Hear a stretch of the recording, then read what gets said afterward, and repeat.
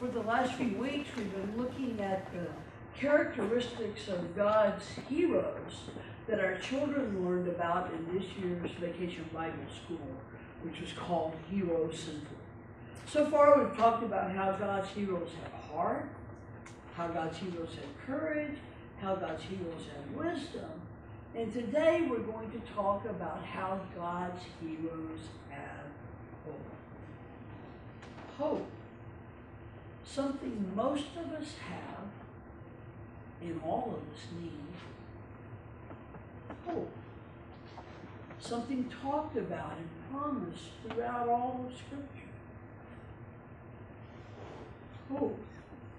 Something we as followers of the Christ are called to offer to others on this path. Hope.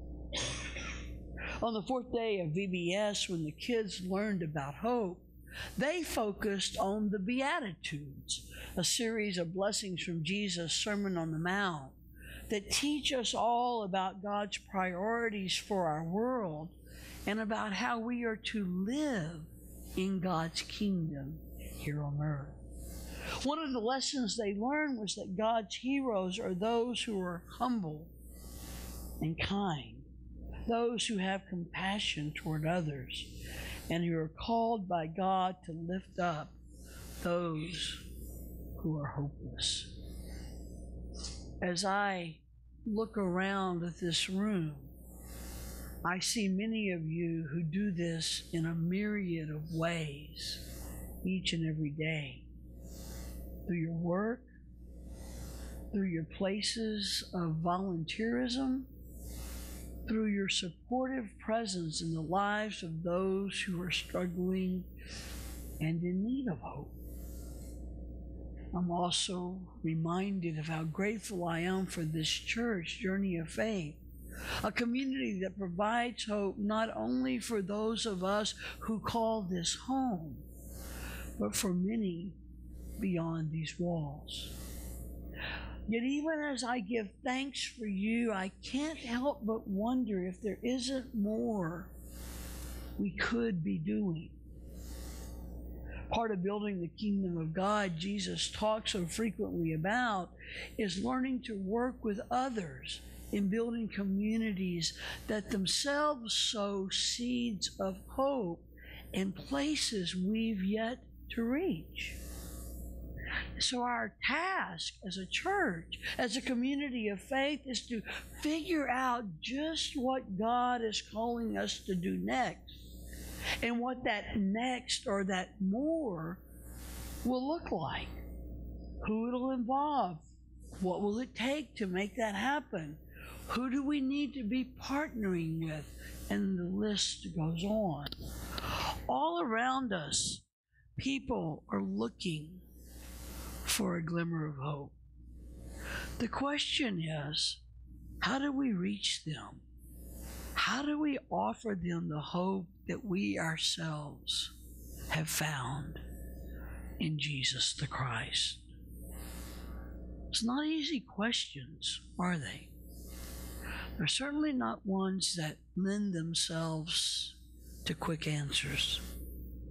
In fact, I suspect that whatever it is God is calling us as a church to do will involve something way outside the box we call normal and a lot of stretching and growing on our part. And that includes me.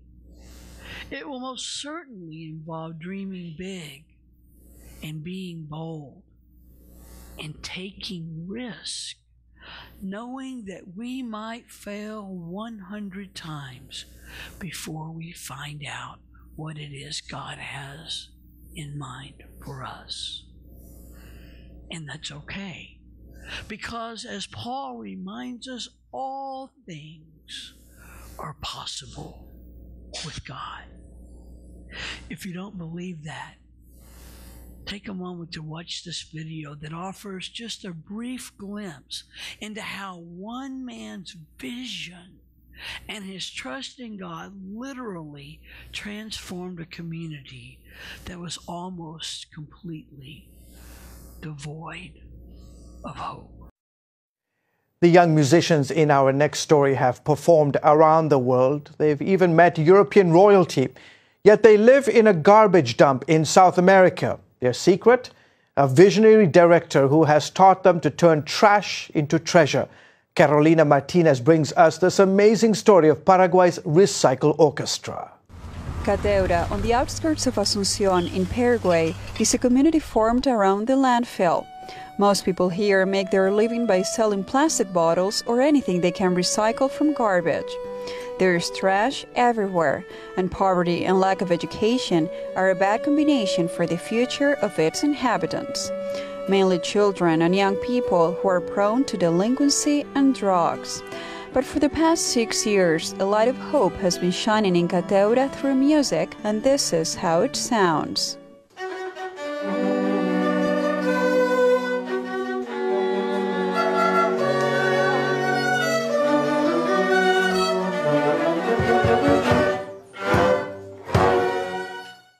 This is the Recycle Orchestra.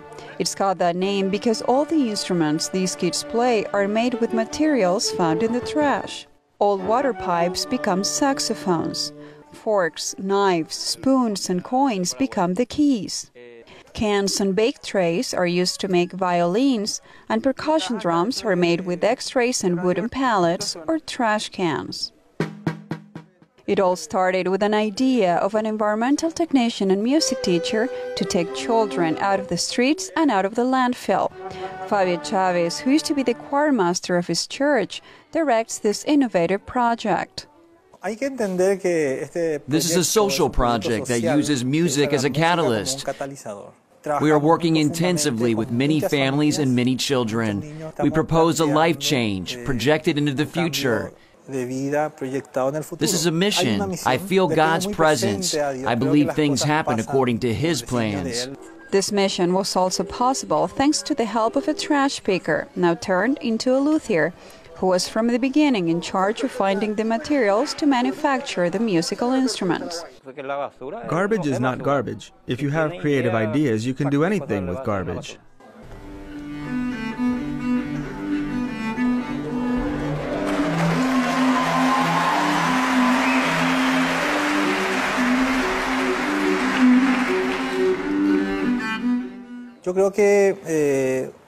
I think we have to be grateful for the gifts we have received. And we must be responsible because those gifts should serve others too. It's like what the Bible says you can't hide a light under the table. The light has to be where it can illuminate everyone. And the orchestra is illuminating Cateura. Until a couple of years ago, no one had ever heard of this place. But all that changed thanks to the trailer of a documentary film that is now being released Landfill Harmonic. In recent years, the Recycle Orchestra has been invited to perform concerts worldwide. It has received awards from the royal crowns of the Netherlands and Spain. Favio Chavez and the children of Cateura have given lectures at the famous TED conferences, and they are inspiring millions. Having nothing is not an excuse for doing nothing. And what we're doing is an example of that. I realize that I have nothing to envy because everything happens for a reason, and I know this is all God's work.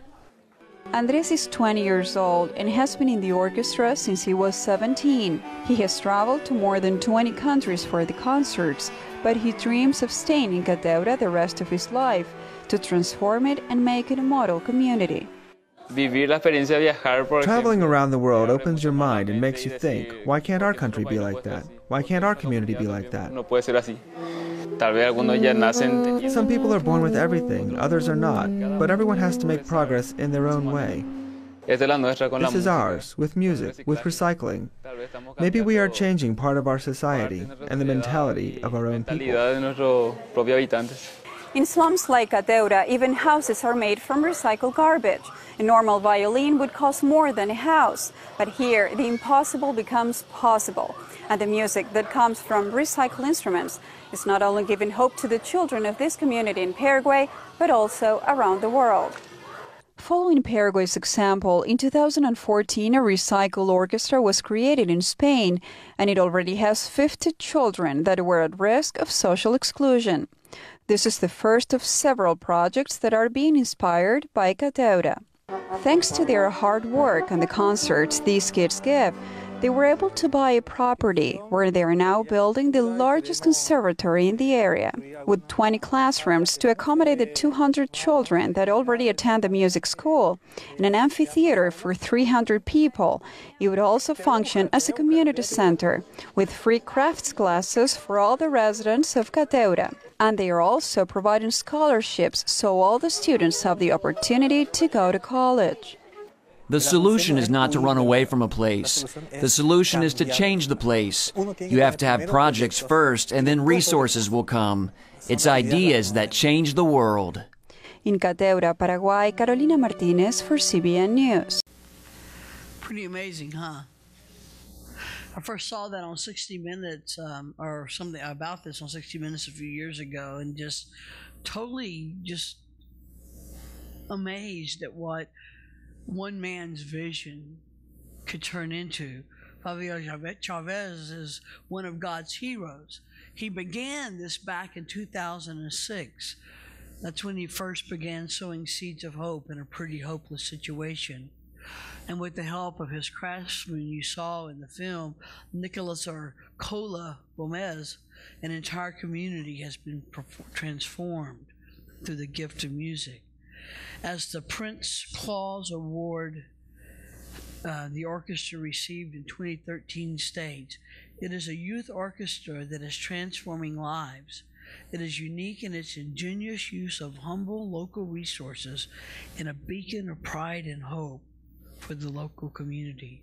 The Recycled Orchestra, as it's sometimes called, is honored for bringing music and joy to many people, for their innovation and communal collaboration and using the resources at hand to create possibilities and transcend their difficult circumstances, for engineering self, for engendering self-esteem, community pride, and social cohesion through musical expression, and for showing that culture is a human necessity, and that material poverty need not be an obstacle to a life rich in culture. As you can see through their vision and work, lives have definitely been changed, and now not only in Cateura, but through similar musical organizations in Spain, as they mentioned, and now Brazil and Burundi and Mexico and Panama, and I suspect by now in other countries as well. And while I think we can all agree that the story of the Landfill Harmonic Orchestra is pretty amazing, I think we can all agree that we are called to be instruments of God's hope in a broken and hurting world.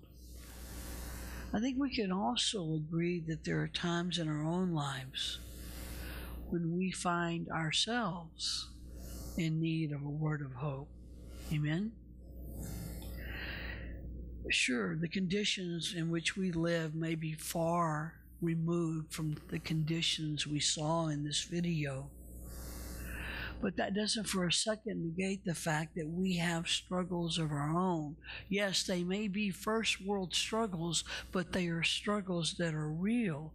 There are times in our lives when tragedy or illness or economics are trying to care for someone who is ill, or maybe it's just the struggle of day to day living that seem to close in on us, and we at times find ourselves feeling helpless, and yes, sometimes even hopeless.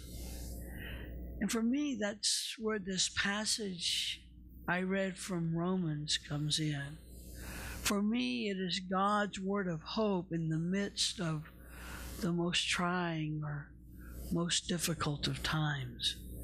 Hear part of that again. Therefore, since we have made righteous through his, Jesus, faithfulness, we have peace with God through our Lord Jesus Christ. We have access by faith into this grace in which we stand through him, and we boast in the hope, the hope of God's glory. But not only that, we take pride in our problems because we know that trouble produces endurance, and endurance produces character, and character produces hope. This hope doesn't put us to shame because the love of God has been poured out in our hearts through the Holy Spirit who has been given to us. I like that last verse, verse 5 in particular. Hope is not something that we work out ourselves, but something we take in through the activity of God's Holy Spirit. And hope does not disappoint us because God's love has been poured into our hearts through the Holy Spirit that has been given to us. In other words, hope is not the result of wishful thinking or simply being hopeful or even a product of how much we hurt. Hope happens because as Paul says in Romans 8:28, we know that all things work together for good for those who love God. And who better to know this than Paul, the one who had suffered so much on account of his faith? The one who had seen God take shape in the world and in his own life, most concretely in the cross of Christ. The cross by which God dignifies and sanctifies all human suffering by promising to be there with us and for us as we struggle to be faithful in this world. Think about it a moment. If God's greatest revelation to us was made manifest in and through the struggle and suffering of God's Son hung on a cross, then what suffering of ours can ever truly be God forsaken? God promises to be with us in the midst of our suffering and to work through it to be build character and endurance, and to increase our capacity for hope. Something I feel like I always have to say is that God never desires or causes any suffering we may experience, but instead, God promises to be with us in the midst of whatever suffering we may experience and to use it whenever possible for some greater good. And again, as Paul said, to redeem it by joining it with Christ's own suffering on the cross. In other words, no tear shed goes unnoticed by God, and no frustration or hurt or loss is unimportant to God. Our lives may not be as tragic as some of those we saw in this video, but no tragedy, personal, communal, national, or global, is ever ignored by God, which means to me that God is always present with us in our suffering and He dignifies it by His presence.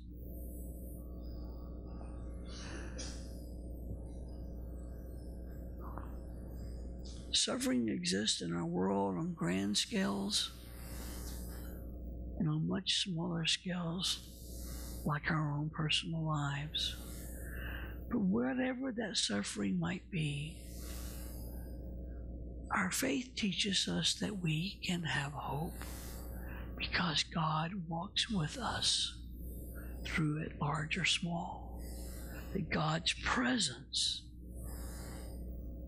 is always there in the midst of pain and struggle, in the midst of triumph and tragedy, bringing out our best, supporting us, loving us, upholding us, but also calling us to offer that hope to others. That's the hope Paul talks about. And that kind of hope is, as he well knows, a very powerful thing at work in our lives and in our world. Thanks be to God. Amen.